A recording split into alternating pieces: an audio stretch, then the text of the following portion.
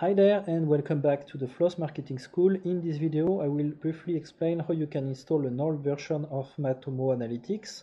The typical use case is the following one. Let's imagine that uh, you get one of your contact or one of your lead who is having a problem with uh, one version of Matomo which is not yours. So for example in your version of Matomo it works good but not in its version and you would like of course to have the same view as um, your client or your lead. So uh, what you should have to know is that when you go on uh, matomo.org, so matomo, matomo.org, when you want to download Matomo, so when you click over here on download for free, you can over your mouse over this uh, given link, and then you see that it's pointing to an email uh, to an URL which is build.matomo.org slash matomo latest.zip.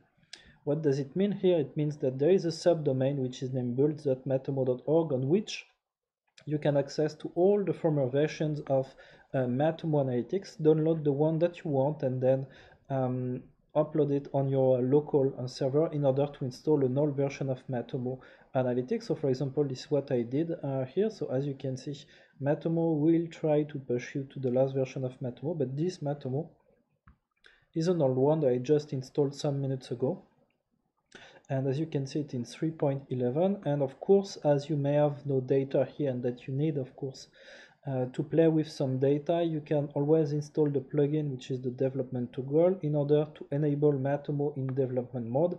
And then once uh, you have it in development mode you can install the visitor generator like this. You can populate your Matomo with some data that you can play with and then you can double check that uh, the feature that your uh, let's say lead or client is having an issue with is linked to his version of Matomo or not.